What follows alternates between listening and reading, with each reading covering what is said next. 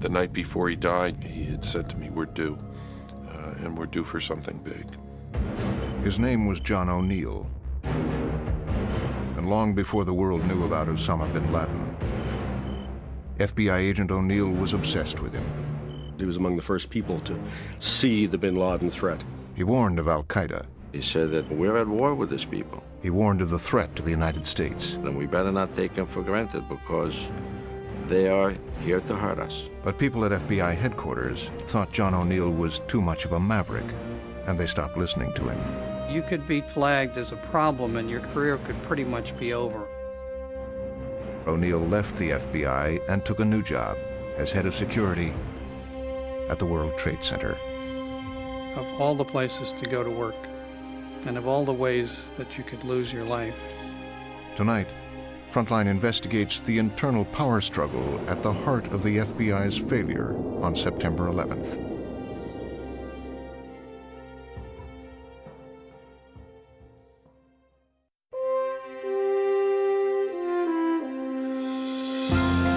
Frontline is made possible by contributions to your PBS station from viewers like you. Thank you. And by the Corporation for Public Broadcasting. Major funding is provided by the John D. and Catherine T. MacArthur Foundation, committed to building a more just, verdant, and peaceful world. And by Riva and David Logan, committed to investigative journalism as the guardian of the public interest. Additional funding is provided by the Park Foundation, dedicated to heightening public awareness of critical. And by the Frontline Journalism Fund, supporting investigative reporting and enterprise journalism.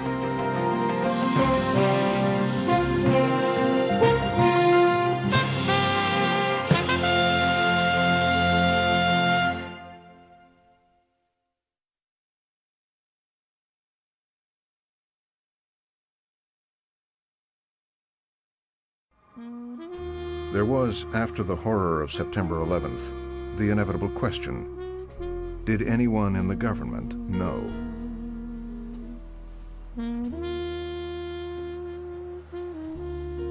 The move from Chicago to headquarters in Washington was a big promotion for Special Agent John O'Neill.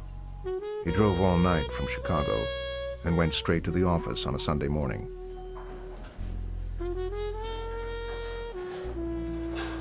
He just arrived when the White House called.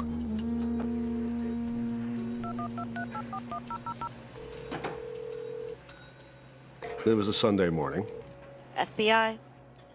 but I was in my office and I was reading intelligence, and I saw a report that indicated that the man who had plotted the World Trade Center bombing in 93, the ringleader, Ramzi Ahmed Yousef,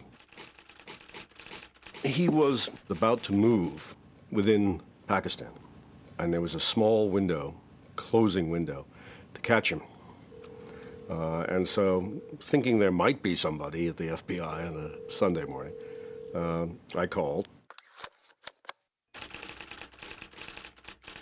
O'Neill had made his reputation investigating white collar crime, drug rings, and abortion clinic bombings. I said, Who's this? Uh, and he responded, Well, who the hell are you? Uh, I'm John O'Neill. And I explained, Well, I'm from the White House and uh, I do terrorism and uh, I need some help. And I told him our story on a classified uh, phone line. And he went into action.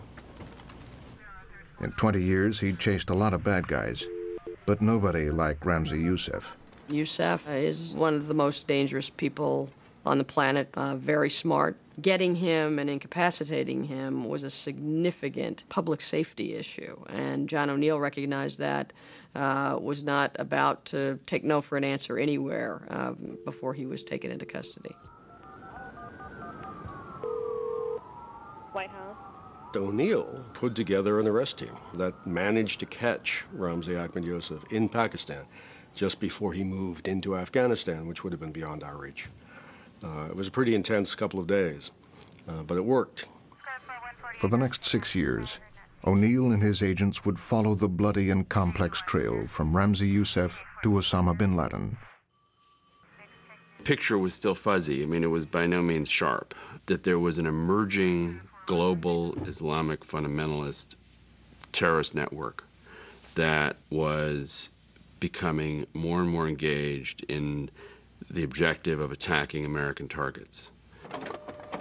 When Youssef fled from the Trade Center bombing in 1993, among the places he went, uh, really right before he was apprehended in Pakistan, was to the Philippines, where he was mixing the bombs to blow up you know, 12 jumbo jets in a 48-hour period, and was not far away from at least attempting uh, to carry out that plot, which would have resulted in thousands of deaths in two days. From the beginning, O'Neill obsessed about the details of the Ramzi Youssef case. He dug into that plan to blow up the planes, known as the Bojinka plot.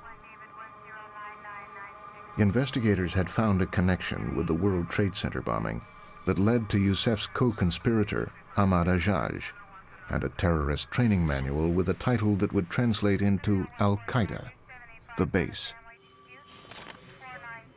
They uncovered a list of phone numbers called by Youssef and other World Trade Center conspirators from their safe houses. One of those numbers belonged to Osama bin Laden, identified by an early CIA report as an Islamic extremist financier. I think if you ask most terrorism experts in the mid 1990s, well, what about this man bin Laden? Most people in the mid 1990s would have said, ah, yes, the financier, the terrorist financier. And what O'Neill said was, no, this man is not a financier.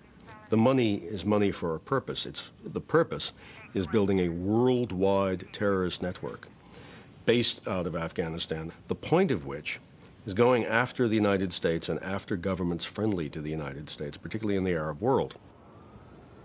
Once convinced bin Laden was a threat to America, O'Neill began a campaign within the FBI to sound the alarm. The first time I ever heard the name Osama bin Laden was from John O'Neill and John O'Neill was very much aware of who he was, who his group was, Al Qaeda. Over time, Robert Bear Bryant would become second in command at the FBI.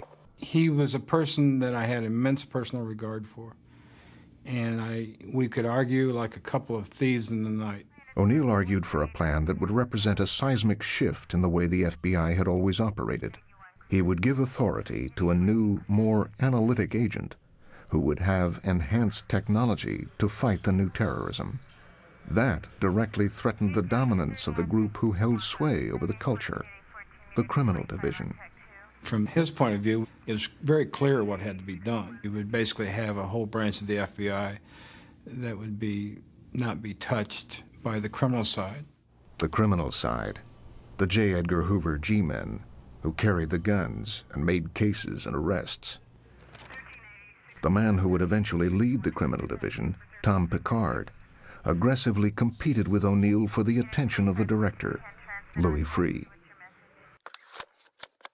As a former street agent himself, Freeh identified with the criminal division, and Tom Pickard was a longtime friend. To reinvigorate the counterterrorism effort, O'Neill would try to muscle his way through the bureaucracy that surrounded Louis Freeh. But in that struggle, O'Neill's personal style got in the way. They said he was too intense, pushed too hard, had what they called sharp elbows. We often talked and joked about the fact that uh, we weren't really in the club and we really didn't care. And that was something that John and I had shared on occasion. And there is a difference between those people who spend time in an organization and are happy to make it to the top and have never uh, rolled over a stone or created a problem or solved a problem, you know, just to carefully run through and, and be there and be promoted. Uh, John was not like that. O'Neill just didn't do anything the FBI way where at the end of a long shift, they went home to their families.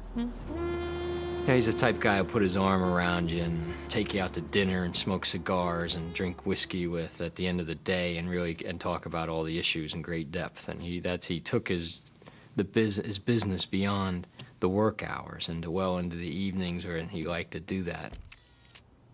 And in the button-down FBI, O'Neill was considered too flashy. It was the presentation. It was the, as he would call it, it was the package. They resented sort of the, the Burberry suit and the white pocket square and the expensive tie and the, the Bruno Magli shoes. You know, this wasn't the bureau.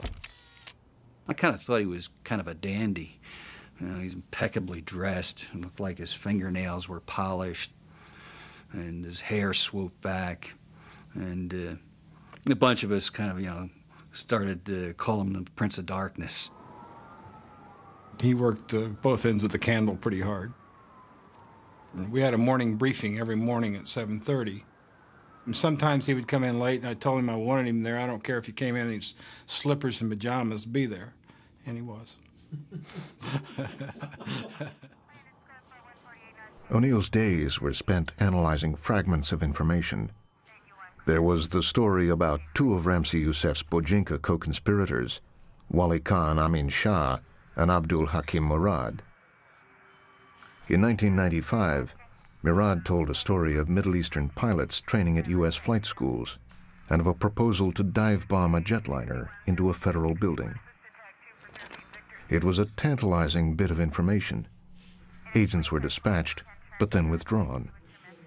The investigation languished. I had a fairly low opinion of our headquarters throughout my whole career.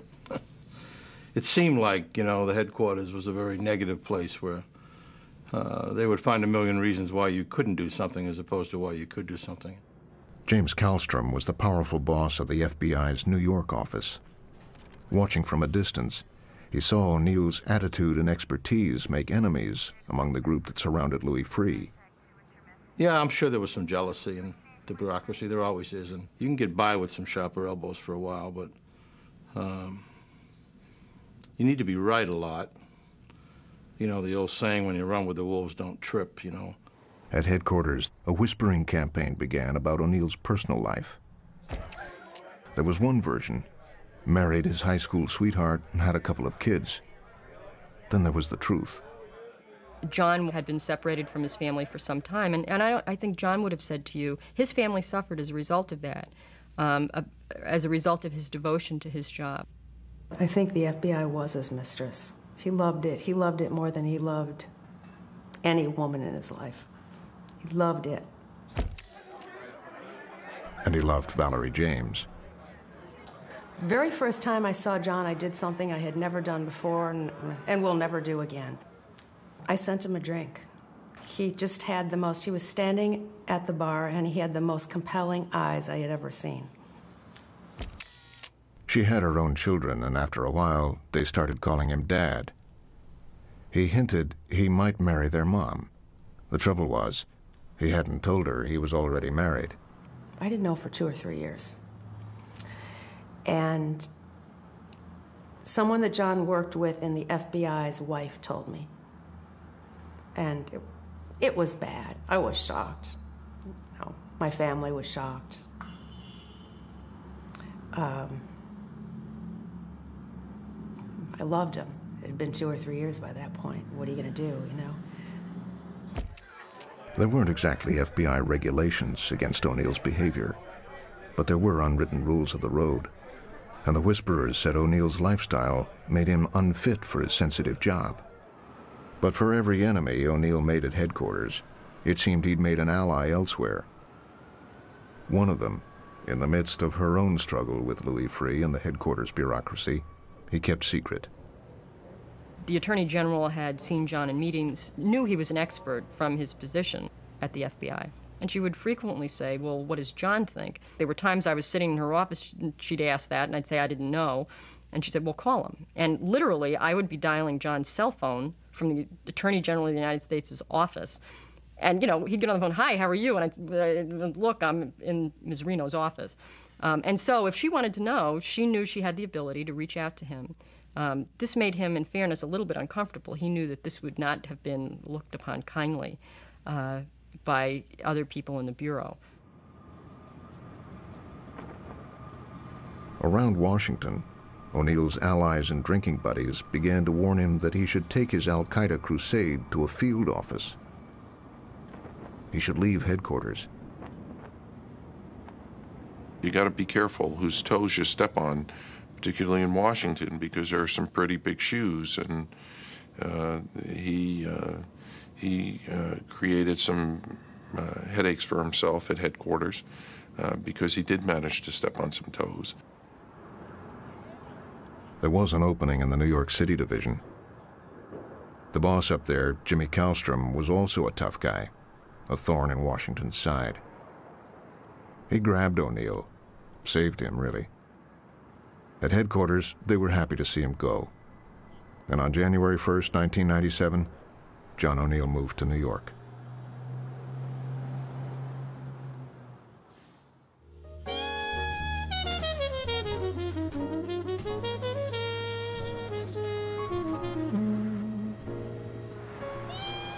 It was a promotion. Assistant Special Agent in charge of counterterrorism and national security. He'd be in charge of a team of about 350 agents. And best of all, it was in New York. New York was the flagship office of the FBI. It's where it happens in New York. I mean, that's where you wanted to be if you were an FBI agent.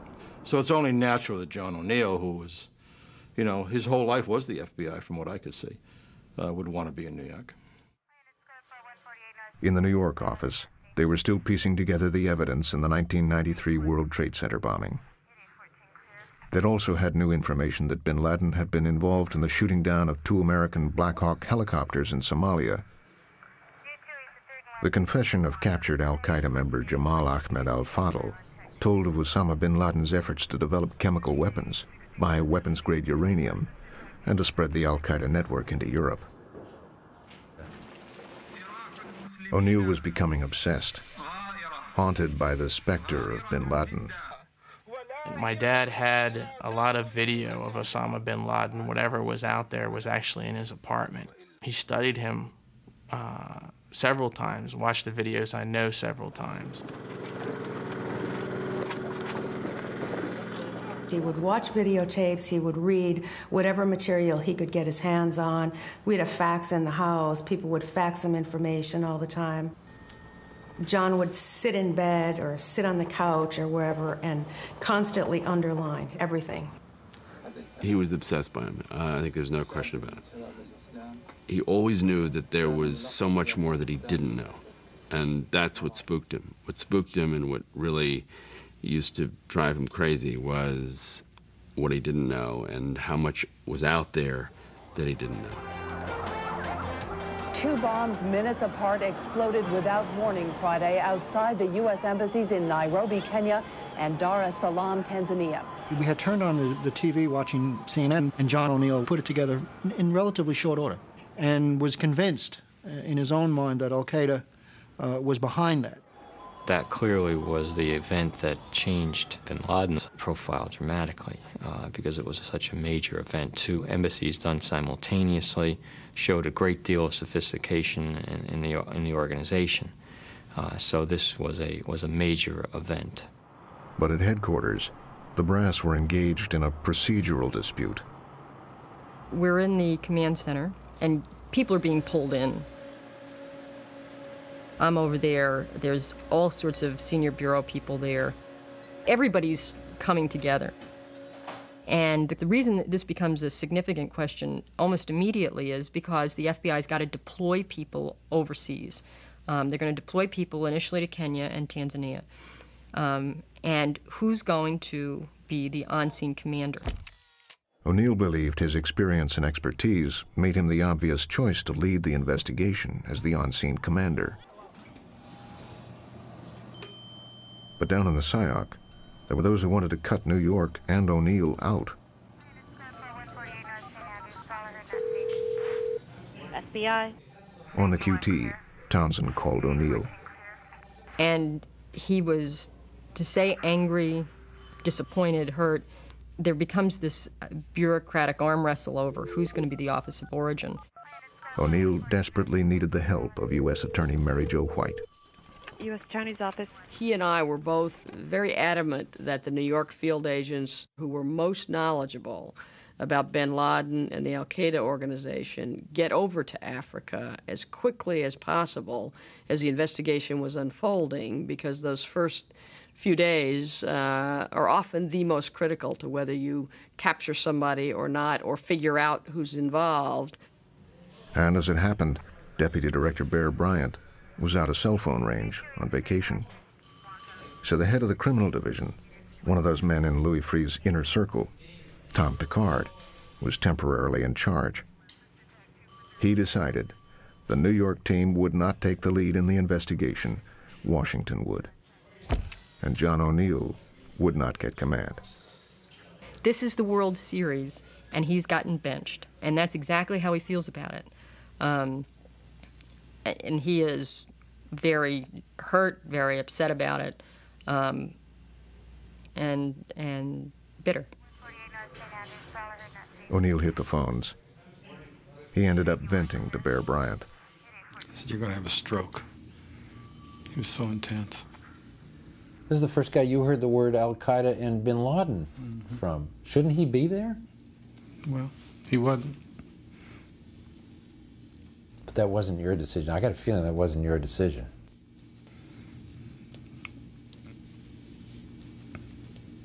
Well, he wasn't there. It wasn't your decision, was it? He wasn't there.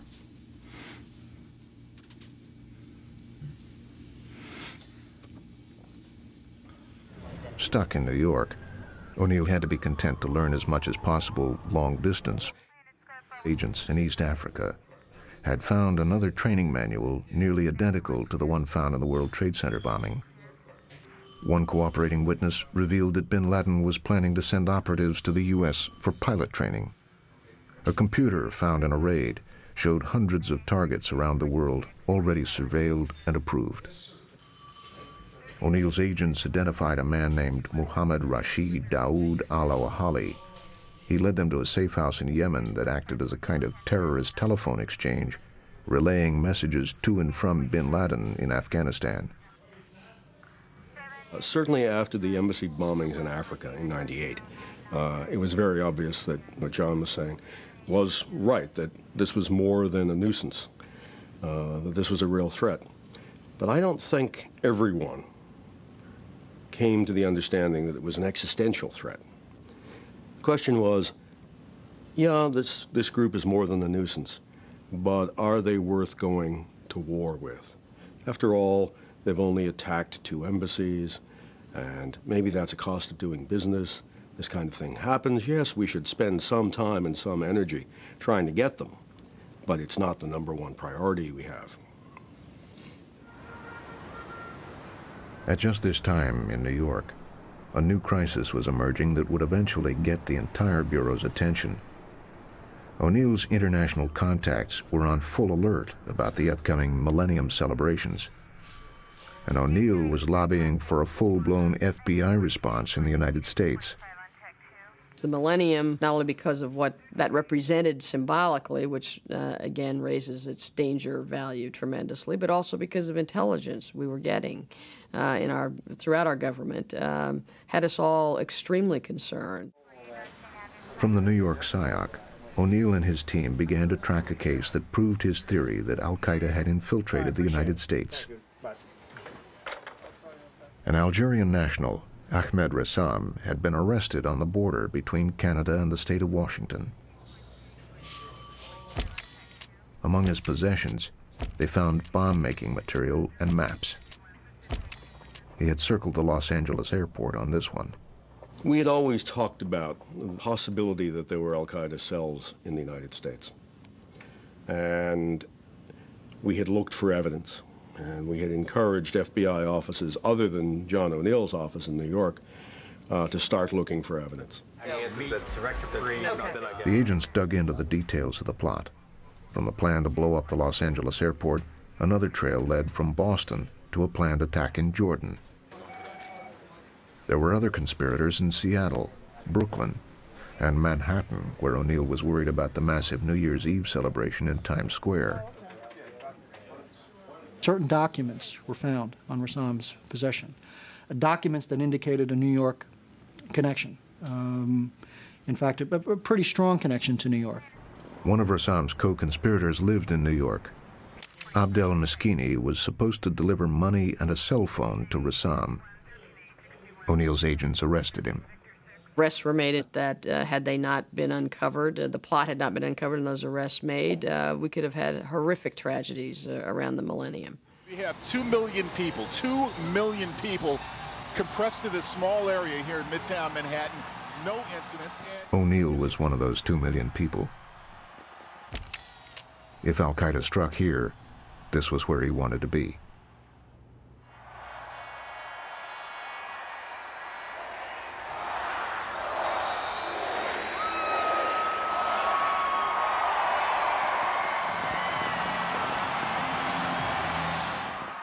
Remember talking to John shortly after midnight.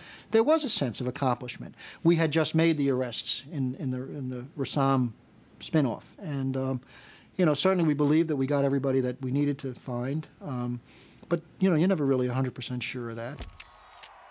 And so I think a lot of the FBI leadership, for the first time, realized that O'Neill was right that there probably were Al Qaeda people in the United States.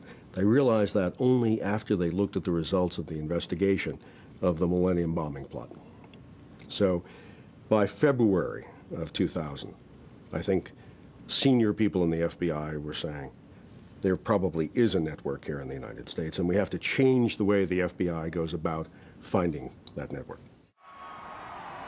If the Bureau was finally going to reorganize itself to take on terror, O'Neill wanted significant influence in that process. He needed a highly visible, powerful platform. As it happened, Jimmy Kallstrom's old job, head of the New York office, was open. O'Neill pulled out all the stops and made a play for it. But there were some administrative problems on his record. He'd lost a Bureau cell phone and a Palm pilot.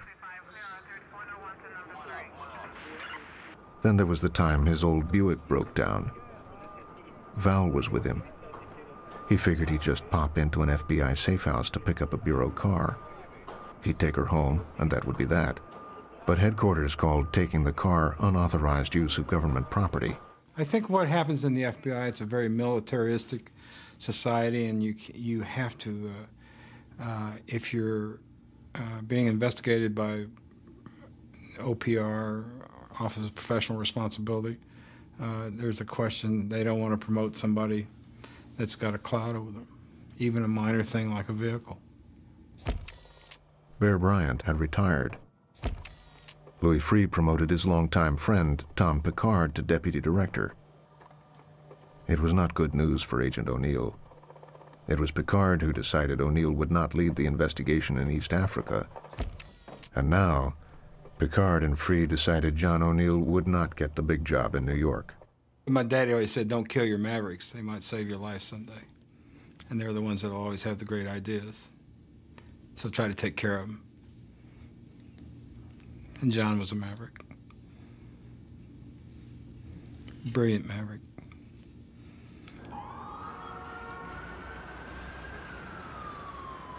The buzz around the New York office was that the new boss, Barry Mawn, wasn't keen on keeping O'Neill around. Barry was a skeptic. He had heard sort of the headquarters gossip at John O'Neill's style. But it was funny, I can remember saying to John, Barry doesn't stand a chance. If you decide to win him over, you'll win him over. There was a knock on the door, and John was holding two beers. And he said, uh, Well, I understand you're an Irishman and you like to drink beer. These are for you. So I laughed. He wanted to stay in New York. Uh, he said, uh, I will be your most loyal supporter, and uh, all I ask in return is that you be supportive of me and my efforts. And so I said, Well, we got a deal, uh, and we'll go forward. As the weeks wore on, and just as that investigation about the car incident seemed a thing of the past, O'Neill attended a conference of other agents in Florida. We were meeting in Bal Harbour at the Marriott. John came in. He is just, I, I don't remember seeing John as distraught as he was this night. what has happened. He told me he left his briefcase in this room of 150 FBI agents and got a phone call. Couldn't hear on his cell phone, so he just walked outside to take his call. Walked back in, his briefcase was gone. He was completely freaked. O'Neill's bag contained classified documents. Taking them out of his FBI office was against the rules. And he knew, even if there had been nothing in it, um, his sense was because the Bureau had come down hard on him the time before um, for something stupid, that even if it was nothing more than he lost Bureau equipment, he was going to get, this was going to become a federal case. Um, this was going to be a big deal in terms of the Bureau, and it was going to be used to hurt him. Hours later, the bag was retrieved. Fingerprint analysis showed the documents hadn't been tampered with. But the damage was done. John always wanted to be thought of as being close to perfect. And for him to be criticized for something like the suitcase, the briefcase incident, uh, whatever the truth value of that incident was, uh, it hurt him a lot because he always wanted to be thought of uh, as close to perfect. Perfectly dressed, perfectly briefed, uh, and didn't want anybody to think that he was in any way uh, not the number one guy in terms of performance. At headquarters, they pounced. The FBI's Office of Professional Responsibility began a criminal investigation. O'Neill was in real trouble. He hired a lawyer and hunkered down to save his job. He was consumed by this job, and the job turned on him. When he would make some foolish mistake, they came down awfully hard on him. Given what his contribution was, given what he had sacrificed, he, there was a sense of entitlement, and it's a terrible sense of unfairness. His view was people above him felt threatened by him, by his expertise, and so didn't really want him around. As the criminal investigation against O'Neill dragged on inside the FBI, O'Neill had his agents paying attention to American embassies, especially in Jordan and Saudi Arabia, and U.S. military targets, because an Egyptian informant had told them an American warship would be hit by Al Qaeda. Then on October 12, 2000, Al Qaeda struck.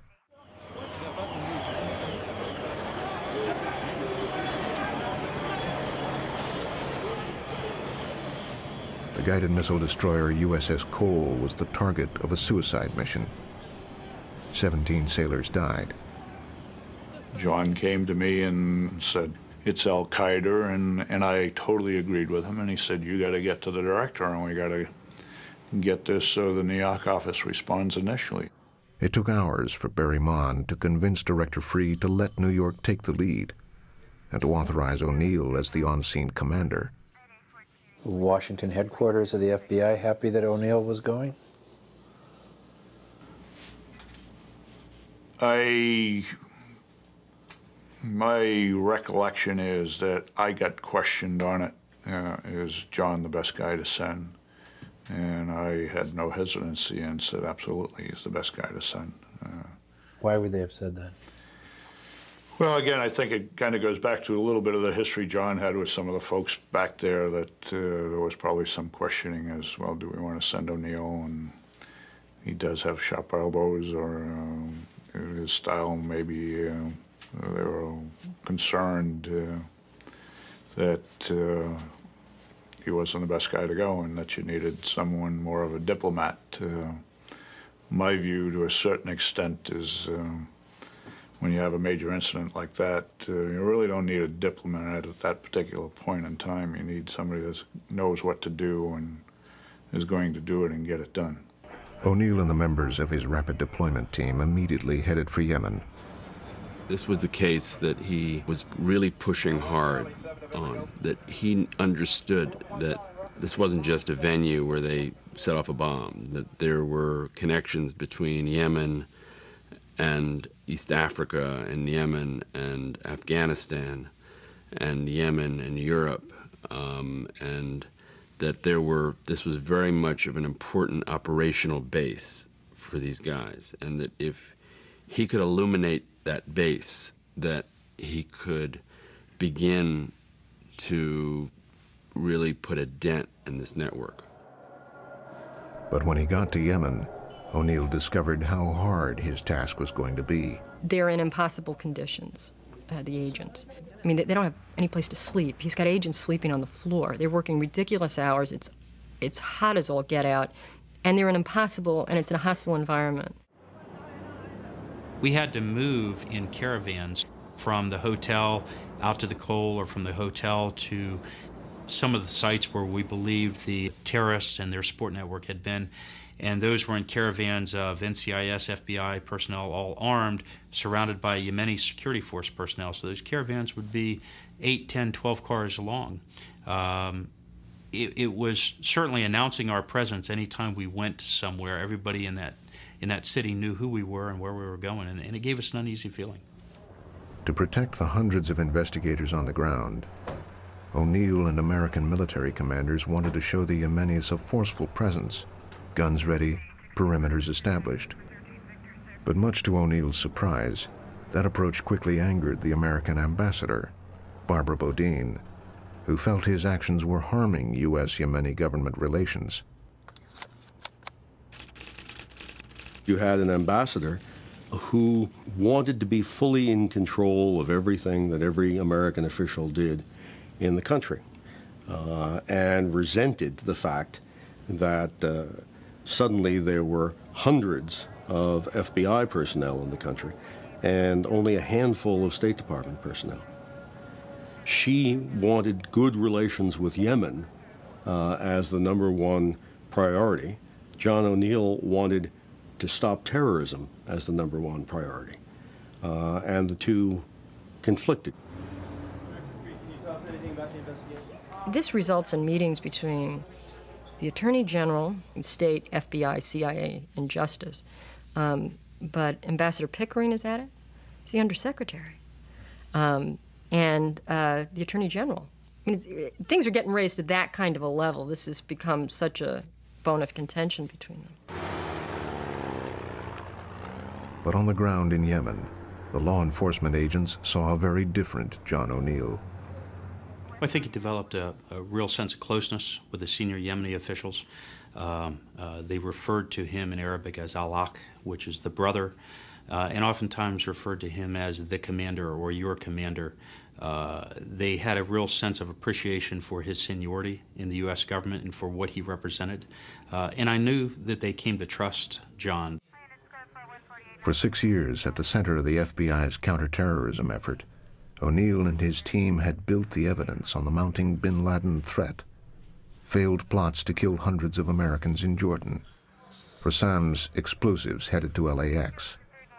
An aborted al-Qaeda plot to blow up another American warship, the USS The Sullivans, and now the Cole. The Yemenis finally agreed to let the FBI join in the interrogation of one of their most prominent suspects, Fahad al-Quso. O'Neill and his agents believe al-Quso knew about bin Laden's desire to videotape the destruction of the Cole, and possibly a whole lot more. O'Neill worked his newly developed Yemeni police officials and old allies in the CIA, but the weeks were taking their toll. O'Neill needed a break. He'd get back to al-Quso after he returned from New York at the first of the year. I have to tell you, when John came home, he got home, I think it was two days before Thanksgiving, because he kept telling me he was going to try to be home for Thanksgiving. He, John had dropped 20, 25 pounds. In New York, he plotted his return to Yemen. He'd taken a Yemeni police delegation on a tour of Elaine's and other hotspots. He was working them, trying to get unfettered access to al-Quso and what he knew. But then he was told he wouldn't be allowed to return to Yemen. Ambassador Bodine denied his visa. I mean, John was not rational on the topic of Ambassador Barbara Bodine. It was, I mean, livid would be putting it mildly. It, I mean, one can't forget that that John was he was very American, but he's also very Irish. And that means that means when he got hot, he got hot. And he was hot. There's no question about it. I think he felt that that um, she was on the wrong side. Ambassador Bodine would not grant Frontline's request for an interview. She was quoted in the New Yorker magazine. The idea that John or his people or the FBI were somehow barred from doing their job is insulting to the U.S. government, which was working on Al Qaeda before John ever showed up. This is all my embassy did for 10 months. For weeks, the ambassador had been making the case against O'Neill, even lobbying Louis Freeh. Finally, her accusations had their intended effect. Headquarters supported her decision not to let O'Neill back into Yemen. John was upset. She was um, bad mouthing him. She had caused a stir at headquarters. Uh, I actually think John was more disappointed that uh, our headquarters didn't back us as far as sending him back and, and taking a stronger stand with the State Department. Uh, eventually, um, our headquarters said, well, let's try and work around not having John go back. And so that's what I had to do. So O'Neill would not be in Yemen. The investigation slowed to a crawl. I watched with dismay as the issue of the USS Cole completely disappeared from the U.S. scene, completely, again. Uh, in a new administration, uh, it was just not on their agenda clearly. It was not on the agenda of the Congress, the media, or anyone else. Again, it went into oblivion. By spring, intelligence about al Qaeda forces in Yemen convinced O'Neill they were about to target his agents. O'Neill pleaded with Barry Mawn to pull them out and Mawn agreed. O'Neill's investigation in Yemen was effectively over. We don't know what would have happened if John could have done his job in Yemen and had really had the full backup to go and to really push in Yemen and what kind of networks he could have exposed. But, you know, we do know that there were Yemenis uh, involved in the attacks of September 11. So is it possible that if if he had been able to really open up that network and really expose that network, that he could have in some way deterred the tragedy of September 11th? I don't think we know, but uh, it, it's sad because we won't know the answer to that. Um, but I think there is at least a, ch- a fighting. He would have had a fighting chance if he'd been able to do his job. By early summer of 2001, other intelligence services were putting the Bush White House on full alert. Every single indication was that Al Qaeda was planning a major attack on the United States. In June of 2001, the intelligence community issued a warning that a major Al Qaeda terrorist attack would take place in the next many weeks. And so, in my office in the White House complex. The CIA sat, briefed the domestic U.S. federal law enforcement agencies, immigration, uh, federal aviation, Coast Guard, Customs, and the FBI was there as well, uh, agreeing with CIA, told them that we were entering a period where there was a very high probability of a major terrorist attack. In New York, O'Neill was also convinced Al Qaeda had picked a target. But he was by now more marginalized than ever at the FBI. And so in July of 2001, when that memo from the Phoenix office pleading for investigations of flight schools made its way to headquarters, it was not passed on to O'Neill or Mawn in New York.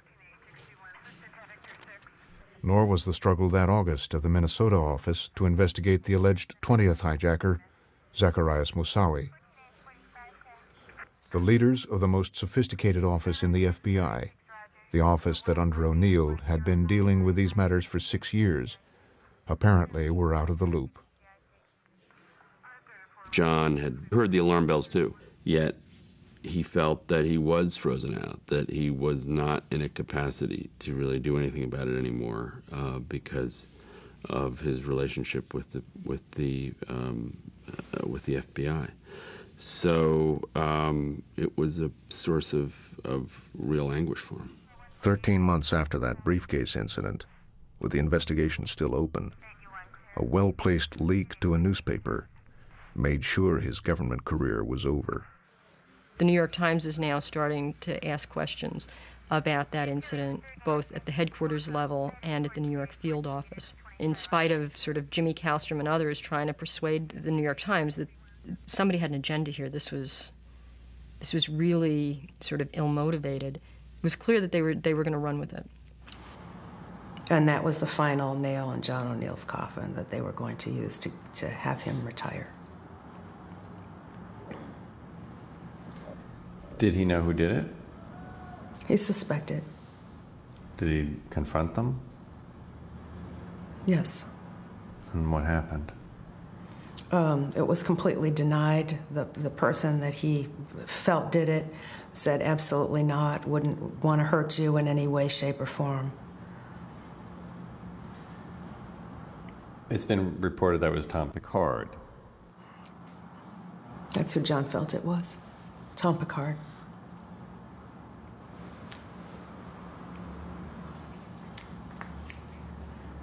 And John really never knew. He was out to get John for a long time, and John never really knew why.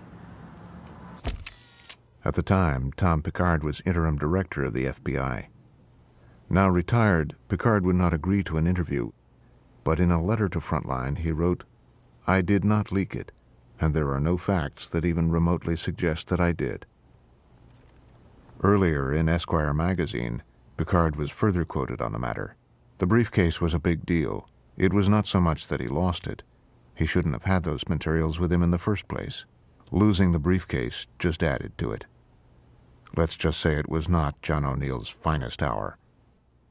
At the end of August 2001, Agent O'Neill ended his 25 year career with the FBI. He was 49 years old. O'Neill needed to make some money. Just being John O'Neill had gotten very expensive. Jimmy Kallstrom and others made some calls. There was one job in particular he was really interested in. It paid $350,000 a year, but it also had a special kind of significance for O'Neill.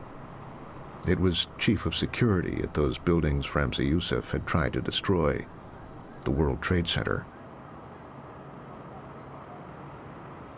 And I joked with him. I said, "Well, that'll be an easy job. They're not going to bomb that place again." And he said, uh, "He says, well, actually," he immediately came back and he said, "No, actually, they've always wanted to finish that job. I think they're going to try again." And of course, that's something I'll just never forget.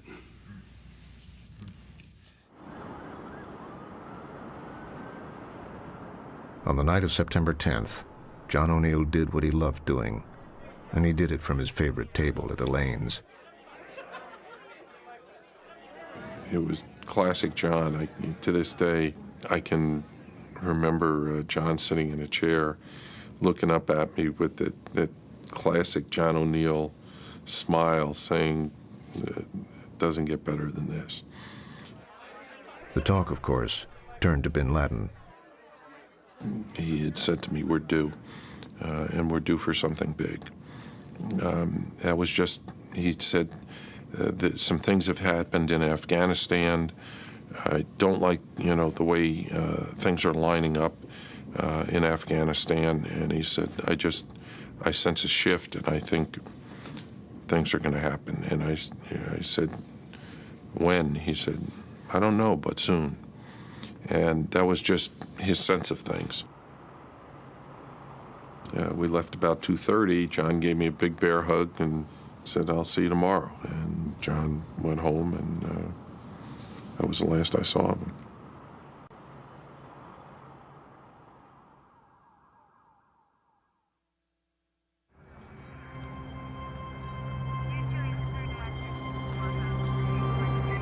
It appears that the there is more and more fire and smoke enveloping the very top of the building. Oh my God! That looks like a second plane has just hit. I saw the second plane go in, and of course by then there's no doubt what the issue is. And I call again, and I don't get through, and I leave a message.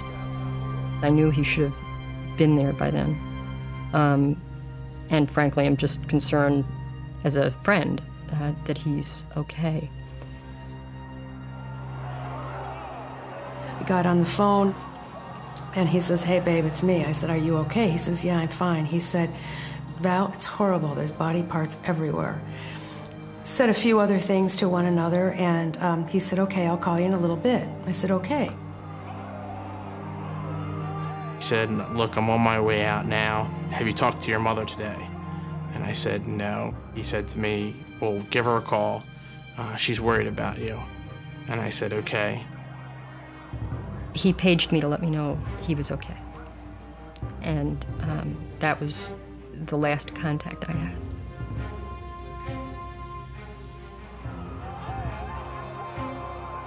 I was running down the street right after I got around St. Vincent's Hospital on the Y, and I started to run a little bit. I saw the, the South Tower collapse.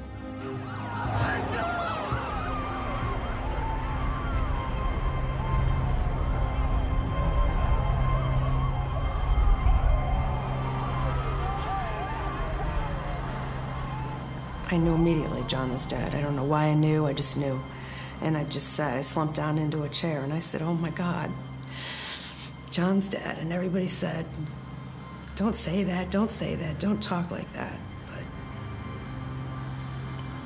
about two o'clock in the afternoon, I said to my assistant, We are just sitting there waiting for him to call. Everyone went back to my office. And uh, he never called.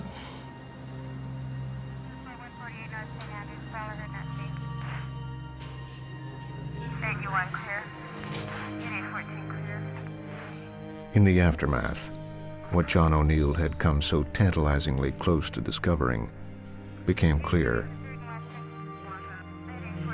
Some of it came from Yemen, from that suspect Al Quso. He told about a secret meeting in Malaysia, attended by two Cole bombing conspirators, Nawaf al Hazmi and Khalid Almihdhar. They had been coming in and out of the U.S. on legal visas. They'd trained in American flight schools. They too had died on September 11th, piloting Flight 77 as it crashed into the Pentagon.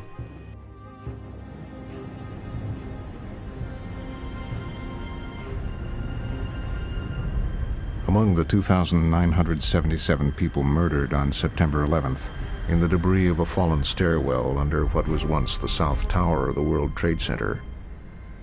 They found John O'Neill's body.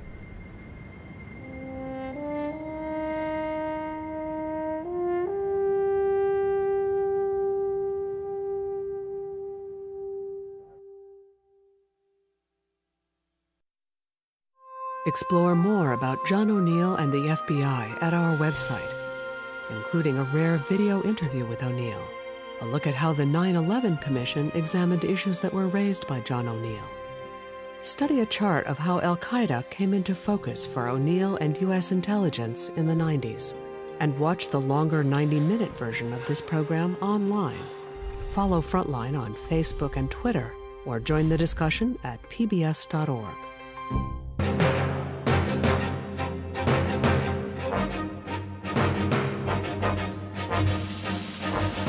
For more on this and other Frontline programs, visit our website at pbs.org.